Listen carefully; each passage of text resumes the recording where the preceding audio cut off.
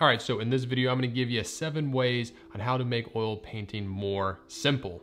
All right, welcome to Paint Talk, the weekly show where I sit and just kind of talk about oil painting. If you're new to the channel, then welcome to Paint Coach. My name is Chris Fornataro, and I'm here to help simplify oil painting so that you can get better faster. So oil painting is one of these things that I feel like a lot of people make more confusing and more complicated than it needs to be. And for people just starting out, it can be very confusing. You hear a lot of different things. You think you gotta do this, you think you gotta do that. So I thought it'd be helpful to give my best pieces of advice for how to make it more simple because if you can make it more simple, it's gonna be more fun and you're gonna get more out of it and you're gonna get better faster. So let's jump on in with tip number one, which is don't worry about creativity. Now I know this might sound weird. He's like, oh, Chris, we're doing painting, then painting's creative and should I be creative?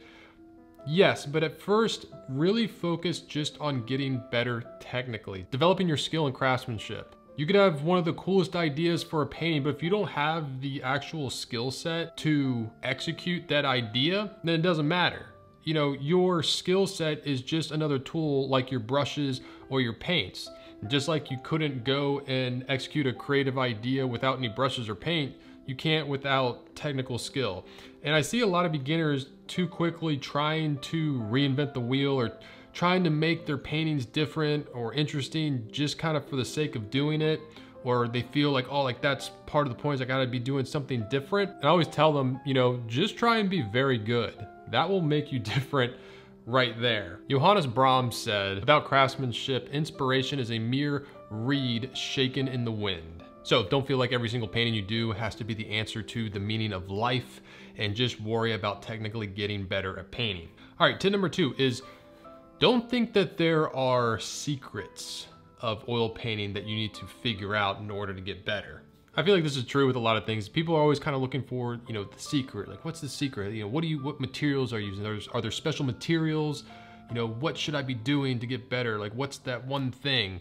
And like most things, there isn't a one thing. There isn't there aren't special materials, there aren't special ways of doing things. I mean, if you think about it, the masters that made these great paintings a long time ago didn't have nearly as good as materials as we have now. So like, don't think that, oh, I need to get these certain materials and that's gonna really level up my painting.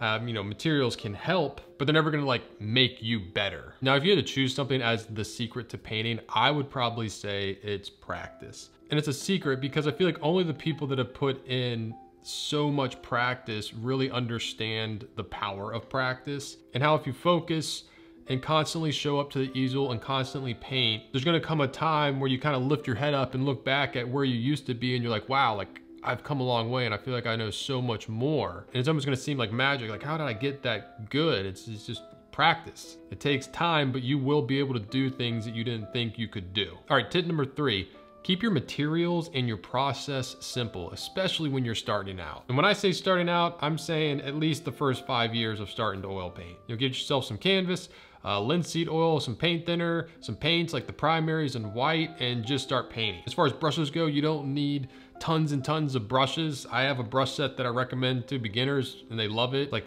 five or six brushes and you probably don't even need that many. I say this because I see a lot of people starting out that get really hung up on materials and they think that materials or even processes, you know, certain ways to paint, certain kind of advanced methods or techniques are what's going to bring their paintings to the next level. All right, tip number four is don't do something just because you saw someone better than you do it. Only do it if it really makes sense to you and you understand it and you can see how it would solve an issue that you are having. I definitely fell into the trap of doing this when I was first starting out and I would see these really good painters and I'd feel like, oh, like I got to do this or that because they're doing it. If I want to be good like them, then I should be, you know, doing what they're doing.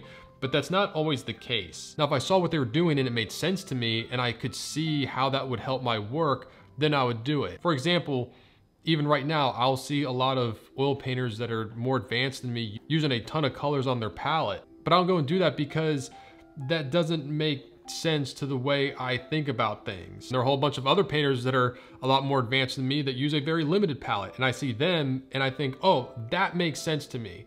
You know, that approach and that kind of method clicks in my brain. And so I gravitate more towards that and I look more towards those painters for my guidance. It's not that one way is right or one way is wrong. It's just a certain way clicks for me. But understand that when you see very advanced painters with very specific you know, set of materials and a very specific way of working and how they build a painting, understand it took them a long time to develop that method and to dial in those materials. And it's specific to them. And I'm talking decades. And over time, you will dial in your own process and your own specific way of working and what materials you like. And you will change things and add things when it is necessary to get a certain thing that you want in your paintings. Just don't do it just to do it because you think you need to do it. Always know why. All right, tip number five is don't get tricked into thinking more detail or complex subjects are better. I would really encourage you to paint simple subjects very well. A big problem I see with beginner painters, and uh, you know, I did it as well, I was always reaching for painting more complex subjects because I felt the more complex it was or the more detail there was would make it a better painting. And that really wasn't the case. And looking back, what I was doing was I was trying to mask my deficiencies in the fundamentals of not understanding value and color and simplification and all that stuff by just piling on detail or choosing very complex scenes to try and, you know, like wow the viewer, like, whoa, look at all that stuff in that painting. And, you know, it doesn't matter how much stuff is in that painting or, or how many little details if it's not put in well and you don't understand how to do it. And also I feel like there's something to be said with being able to pull off a very simple scene. Some of the best paintings I've ever seen are extremely simple and I look at them and it's just like, how did they do that? Like, how did they take such a simple subject and make it look so good? All right, to number six is don't get confused trying to follow a bunch of different great painters. You know, with the internet, it's very easy to gain access to a lot of very, very good painters. And like I talked about before, they all have kind of different ways of doing it. If you don't really understand what's at the core of all their teachings, which is the fundamentals. I really believe that any great painter's method relies on those core set of fundamentals. And they all have different ways of handling them or getting to them and using them. But when you're just starting out, you don't really know that because you don't have a strong grasp on those fundamentals. And it's easy to get blinded by techniques and materials and, and, and process and not get at what is really making a painting work. I mean, this happened to me. I was trying to follow a whole bunch of different plein air painters when I was trying to learn how to plein air paint.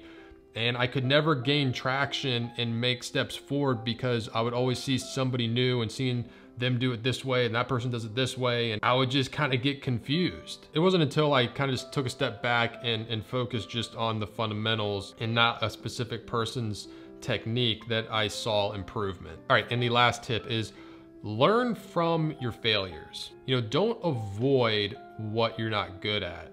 Run towards it. In the past, I've had a lot of students that will come up on an aspect of oil painting that they're not good at. It could be a certain subject or a certain fundamental and, and I'll see them try and avoid it. And I understand painting can get very frustrating, but you really gotta lean into that and turn those weaknesses into strengths. And you can't let them get you down. You have to, you know, fail your way to success with painting. And don't ignore them. The last thing you wanna do is keep getting reps doing the wrong things and building wrong habits. So stop and assess your paintings and think about what you're doing wrong and how you can fix it. Doing a bad painting doesn't feel great, but don't let it be for nothing. You know, use it to get better. If you don't stop and analyze it and, and figure out what went wrong, then that painting was really for nothing because then it's just a bad painting you didn't learn from.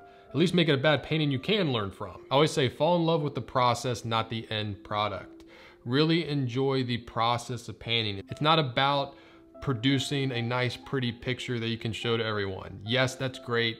Yes, that's very enjoyable. I'm not gonna lie, it does feel good to have a successful painting and have people say, oh, that's a great painting. It feels good, but that's not the main reason you should be painting. You should be painting because you just love the day in, the day out process of getting better. And I promise you, if, if you make that your focus and you make that why you paint, you will paint more, you won't ever stop painting, and you won't ever stop getting better. And painting will always be enjoyable and fulfilling. All right, hope you enjoyed this week's episode of Paint Talk. If you did, you know what to do. Hit that like button, subscribe to the channel. If you wanna see what I'm painting on a daily basis, you can follow me on Instagram at Forza43. I'm Chris Fornataro, here telling you to go get painting.